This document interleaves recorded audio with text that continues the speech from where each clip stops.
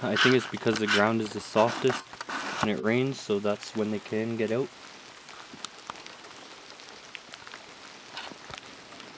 See how fast that is? They're crazy, ain't those fucking things?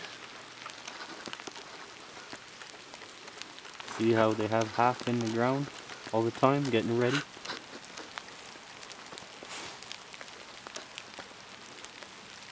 You gotta be gentle when you take them out of the ground because you'll split them in half. I have a couple here and I'm just gonna put them in the jar and go at it again.